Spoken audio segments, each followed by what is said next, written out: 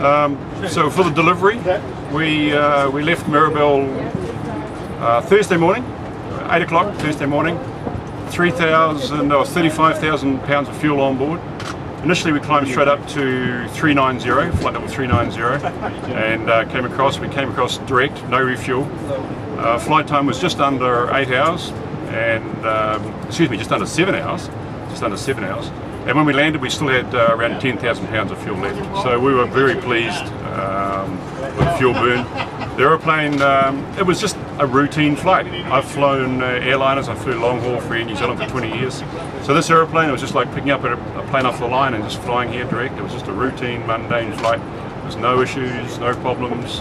Everything was just routine. How much of what you experienced was predicted and how much came as a surprise? You know, to be honest, there was no surprises. There was no surprise at all. I've been involved in this program right from day one, right from it's almost a clean sheet aeroplane. So I've helped design the aeroplane. I've done a lot of flying, uh, the simulators, done a lot of flying on the aeroplane. There was no surprises. It was just a, a, a routine, mundane flight. It really was.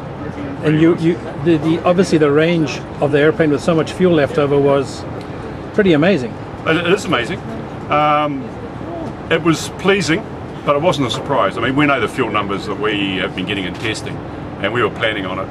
Um, so it was, uh, it's what we expected. So this, the CS100 did a non-stop. Right. The CS300 stopped. Is, It is it possible for that airplane to go non-stop as well? It is, it is, and it will do.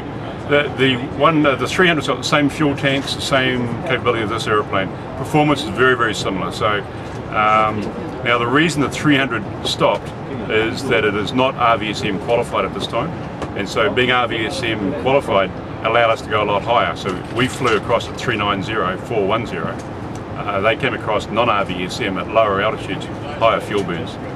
Um, the reasons behind that is this airplane's been around. You know, the 100's now got a lot of flight time experience over five five airplanes, uh, around 1,700 hours of flight time total.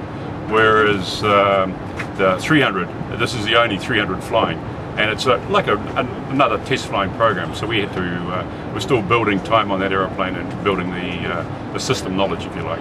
Thank you so much. Very welcome. Very welcome.